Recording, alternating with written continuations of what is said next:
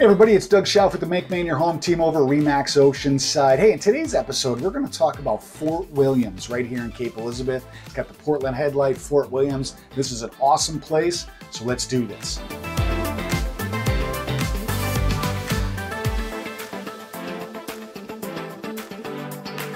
All right, everybody. Hey, like I said, we're going to talk about Fort Williams and the Portland Headlight today. You know, one fun fact I've heard is I believe uh, the Portland Headlight is the most photographed lighthouse in the world. I always think that's pretty cool. I like to plug that wherever we can. I'm going to jump right in with my trusty glasses. So that area there, Fort Williams, has been there and protected Portland for a very long time. You know, back in 1776, the Revolutionary War, there was a lot of soldiers, you know, posted right there in that Fort Williams area. So it was very, very important uh, area to protect Maine and Portland and all that stuff. It wasn't until 1790 that uh, the lighthouse was constructed, and this is this is interesting. You'll like some of these like dollar amounts. In uh, 1787 is when the General Court of Massachusetts Massachusetts provided $750 to begin the construction of the lighthouse.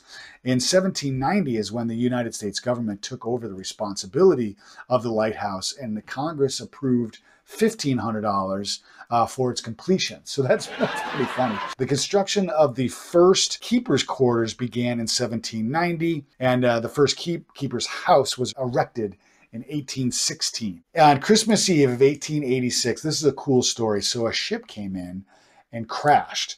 And it was the keeper, Joshua Strout, and his uh, son, his wife, and a lot of volunteers basically came in and like saved everybody. Captain O'Neill's the shipmaster, his wife, two mates, a nine man crew, all brought into safety because of the keeper's uh, family. So that's a really cool story way back then. The current keeper's building was constructed in 1891. It's a two story duplex, and that was there until 1989. It wasn't until 1990 that the property was leased to the town of Cape Elizabeth. And now it's the U.S. Coast Guard that maintains the actual light that's up there and the fog signal, uh, but the remaining property of Fort Williams is all maintained by the town of Cape Elizabeth. There's some great things there. There's like an award winning museum, of course, the lighthouse there, which they only do, they only open up the lighthouse uh, one day a year. Being uh, somebody who lives here in Cape Elizabeth, I thought, I thought it'd give you like the hometown feel about what you should and shouldn't do. There's a little beach area there with like a playground and all that stuff. As soon as you drive in,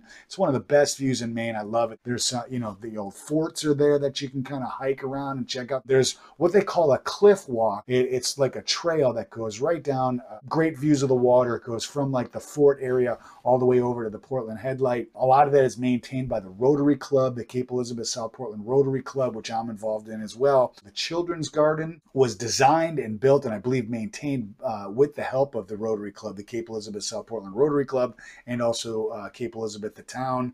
Uh, the Children's Garden is awesome. It's got this cool like granite slide for the kids, uh, like trails through the garden just a really awesome place to check out. There's also a great shelter there that you can rent out for like family gatherings and stuff. And all the while, when you're at Fort Williams enjoying all this stuff, you got one of the best views in all of Maine looking out over the ocean, looking at the Portland headlight. Make sure when you're there, check it out, take some pictures of yourselves, take a selfie. It's awesome. Show everybody that you've been there and talk about it. Come on and check it out. It's an awesome place highly recommend it.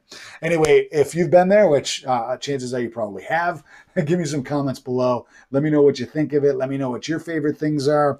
Um, oh, I almost forgot to mention that field in there uh, when you first drive into Fort Williams in the winter, because if you watch this channel, you know that I love winter.